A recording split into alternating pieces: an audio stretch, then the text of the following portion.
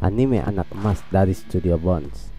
Boku no Hero Academia telah resmi mendapatkan season 6 dan akan tayang sebanyak 2 course atau kurang lebih 24 episode.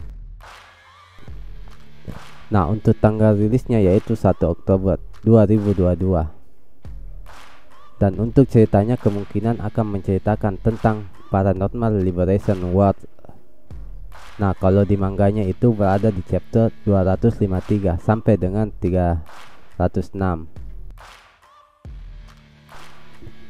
Nah, jadi kurang lebih Boku no Hero Academia season 6 ini akan mengangkat 50 chapter lebih yang akan diadaptasi ke dalam animenya.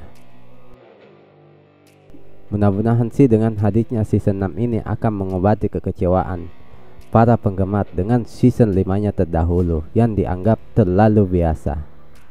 Walaupun bisa dimaklumi sih karena cerita di mangganya memang begitu, anime cuma ngikutin aja tuh.